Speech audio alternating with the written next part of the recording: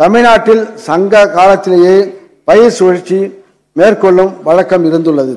நெல்லை அறுவடை செய்வதற்கு முன்பே எஞ்சியுள்ள ஈரத்தை பயன்படுத்துவதற்காக சிறுதானியங்கள் பயறு வகைகள் எண்ணெய் வித்துக்கள் பருத்தி ஆகியவற்றை பயிரிடும் வழக்கம் தமிழ்நாட்டில் இருந்தது. அவ்வழக்கத்தை இன்னும் விரிவாக்கும் பொருட்டு செறிவாக்கும் பொருட்டும் ஆறு லட்சம் ஏக்கர் பரப்பளவில் நெல்லுக்கு பின் மாற்று பயிர் சாகுபடி மேற்கொள்ள உதவி அளிப்பதற்காக வரும் ஆண்டில் இருபத்தி நாலு கோடி ரூபாய் நிதி ஒதுக்கப்படும்.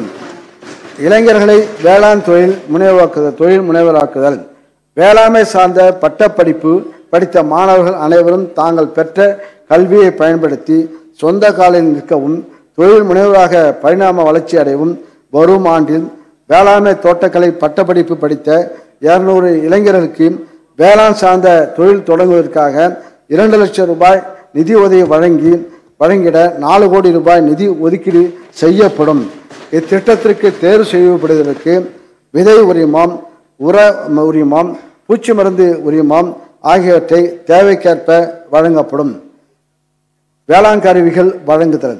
மக்களின் தொன்மை மிகுந்த வேளாண் பணியில் விவசாயிகளுக்கு உதவிடும் வகையில் உழைப்பு திறனை மேம்படுத்தி வேளாண் பணிகளை எளிதில் செய்ய ஏதுவாக சிறு குறு விவசாயிகள் நிலமற்ற வேளாண் தொழிலாளருக்கு வரும் ஆண்டில் பதினைஞ்சு கோடி ரூபாய் நிதி ஒதுக்கீட்டில் அறுபதாயிரம் வேளாண் கருவிகள் தொகுப்பு விநியோகம் செய்யப்படும்.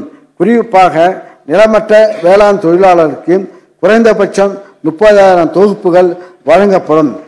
அங்கக வேளாண்மை வேளாண் ஊக்குவிப்பு வேதியியல் பொருட்களை அளவுக்கு அதிகமாக பயன்படுத்துவதால் மண்ணும் நீரும் நச்சுத்தன்மை அடைந்து நலிவடைவதற்கான வாய்ப்புகள் அதிகம். எனவே இயற்கையான எருவை பயன்படுத்தி ரசாயன உரங்கள் இல்லாமல் வேளாண்மை செய்யும் அங்கக வேளாண்மையை ஊக்குவிக்கும் வண்ணம் மாண்புமிகு முதலமைச்சர் அவர்களால் தமிழ்நாடு அங்கக வேளாண்மை கொள்கை கொள்கை அண்மையில் வெளியிடப்பட்டது. அங்கக வேளாண்மையை ஊக்குவிக்க பாரம்பரிய வேளாண் வளர்ச்சி திட்டத்தில் முப்பத்தி ரெண்டு மாவட்டங்களின் பதினாலாயிரத்தி ஐநூறு ஹெக்டேரில் பரப்பில் எழுநூத்தி இருபத்தைந்து தொகுப்புகள் உருவாக்கப்படும்.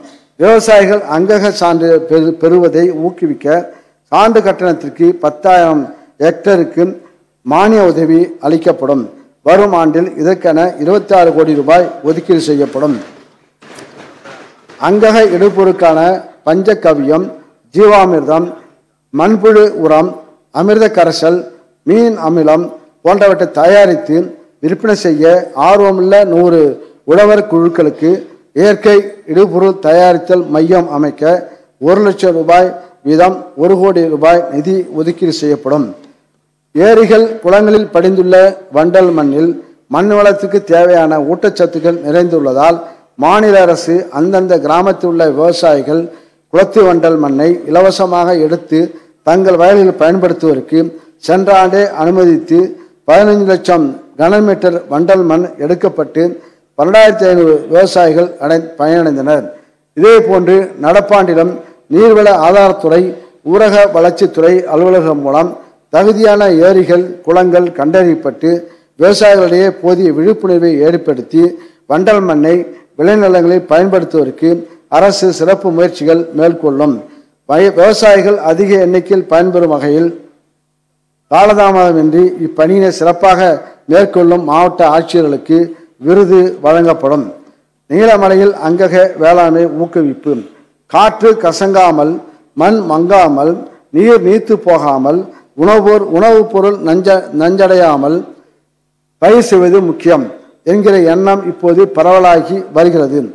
இயற்கையை இயற்கையாகவே பாவித்து இயந்து வாழ்ந்து இயற்கை வளத்தை அடுத்த தலைமுறையின் ஆரோக்கியத்திற்கு வழங்குவது இன்றியமையாதது. நீலகிரி மாவட்டத்தில் அங்கக வேளாண்மையை பெருமளவில் ஊக்குவிக்க ஒரு சிறப்பு திட்டம் ஐந்து ஆண்டுகளில் ஐம்பது கோடி ரூபாய் நிதி ஒதுக்கீட்டில் செயல்படுத்தப்படும். அங்கக வேளாண்மை குறித்த விழிப்புணர்வை ஏற்படுத்துதல் வேதியியல் உரங்களின் பயன்பாட்டை குறைத்தல் அங்கக வேளாண் சாகுபடி முறைகளை அறிமுகப்படுத்துதல் மண்புழு உரம் பஞ்சகவியம் ரசக்கவியம் போன்றவற்றை உற்பத்தி செய்வதற்கான ஆலோசனைகளை வழங்குதல் சாகுபடி மானியம் வழங்குதல் அங்கக சான்று பெற பதிவு செய்தல் அங்கக விளைபொருட்களுக்கு அங்காடிகள் ஏற்படுத்தல் போன்ற பணிகளை மேற்கொள்ள வரும் ஆண்டில் ஐந்து கோடி ரூபாய் நிதி ஒதுக்கீடு செய்யப்படும். நஞ்சில்லா உணவு விளைவிக்கும் அங்கக விவசாயிகளுக்கு அவர்கள் விளைபொருட்களில் நச்சு பொருட்களின் தன்மையினை அறிந்து அதன் தரத்தை உறுதி செய்யும் வகையில் நச்சு மதிப்பீட்டு பரிசோதனை செய்வதற்கான கட்டணத்திற்கு ஐம்பது சதவீத மானியம் வழங்கும் பொருட்டு வரும் ஆண்டில் இருபது லட்சம் ரூபாய் ஒதுக்கீடு செய்யப்படும். அங்கக வேளாண்மையின் முக்கியத்துவம் குறித்த குறித்து விவசாயிகள் கிராமப்புற இளைஞர்கள் பண்ணை மகளிர் மாணவர்களுக்கு விழிப்புணர்வு ஏற்படுத்தப்படும்.